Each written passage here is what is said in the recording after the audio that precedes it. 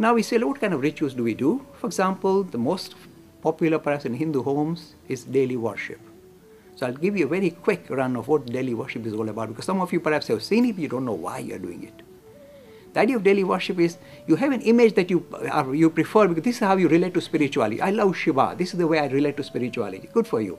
So you sit in front of the image and you say, I'm going to worship. Now what do you do in worship? Well, first of all, you sprinkle water. Sign of purification. Every religion is the same thing, sprinkling water. Second thing, you light a lamp, saying going from ignorance to enlightenment. I'm trying to make spiritual progress. Then you might offer a flower. You say, why do you offer a flower? Ask anybody this. We don't know, we just do it. This is a symbolic gesture to say, I want to offer my heart to this idea of spirit. I want to give my heart to spirituality. Now, for you to do that, you don't you know, pluck your heart out, hopefully not, otherwise you got ambulances going all over the place. You say symbolically, flower, scented, hopefully good scent.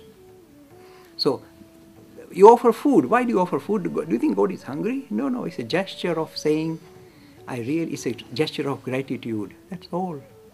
There are a lot of interesting things in the kind of worship ceremony that you should, you should be aware of.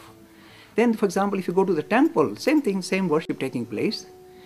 Then you say, okay, you sometimes in some of the traditional temples, you go around the deity, the central deity, the central figure, in a clockwise manner. And people ask, why do you go clockwise? As the reason is this.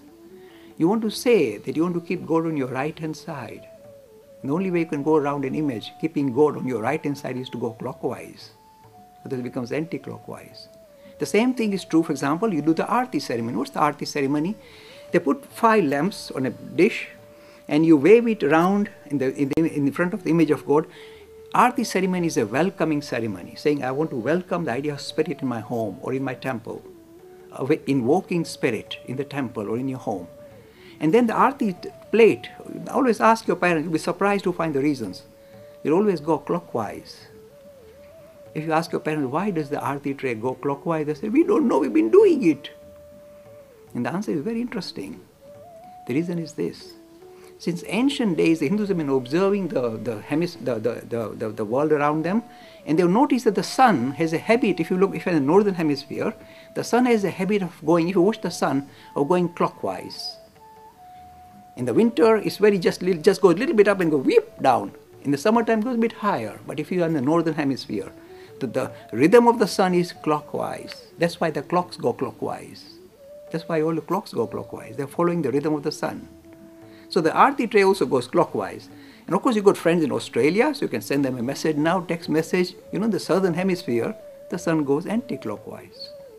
So you can tell them, do the Arti ceremony going anti clockwise. You'll have great fun. You see, know the reason, and then you can smile and play with it. If you're in the equator, you, go, you don't know which way to go. Because the sun appears to go in both anti-clockwise and clockwise, depending on how you face it. So anyway, I'm just showing you the deeper ideas about ritualistic aspect because you didn't realize all this is kind of embedded in the kind of routine, casual thing you observe in your homes or in the temple. so that's one kind of ritual. Then you might decide, some of you, for example, I said that Hinduism comes in two flavors. Either it is personality related, then you do arti ceremony and go in temple and sit in front of an image and worship and tinkle bells. And by the way, do you know why you tinkle bells? Very interesting. Some people say you're waking up God. I say if God is sleeping, that's not a lovely chap. You know, he kind of goes on snoozing, you know, and going siesta. The reason why a tinkle bell is strange. You may be surprised. Suppose you live in a very kind of busy, near a busy road. You hear the noise of the traffic all the time.